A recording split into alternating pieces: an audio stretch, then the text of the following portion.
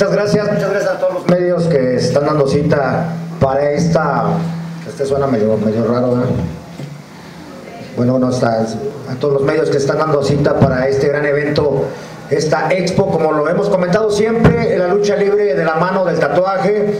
Y pues muchos de ustedes este, fueron invitados a, a, este, a la anterior este, convención de tatuajes que tuvimos, bueno, que tuvo este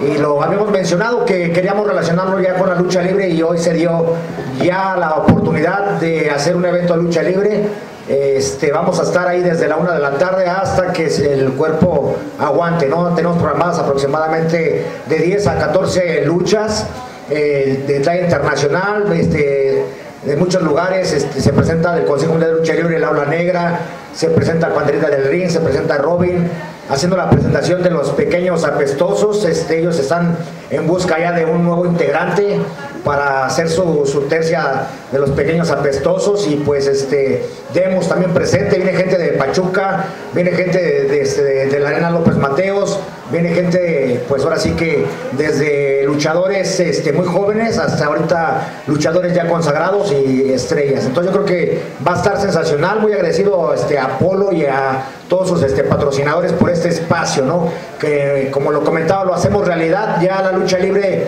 eh, de mano del tatuaje, pero ahora nos presentamos ya este, en expo, en esta convención de tatuaje, pero vamos a tener también lo que es ya este, la función de, lucha libre, un gran evento familiar, invitando a toda la gente que vaya con sus hijos, la gente incluso puede estar tatuándose, puede estar divirtiéndose con, este, con la lucha libre, va a estar sensacional. En el gimnasio Raúl Ratón Macías, esto es en Tláhuac, están comentando ahorita que las vías alternas puede ser ahí por Tasqueña, eh, tomar ahí este, el pecero, bajarse en el metro Nopalera y de ahí hay este transporte que los puede llevar al gimnasio. Las instalaciones están adecuadas, va a ser algo sensacional, como lo comentamos,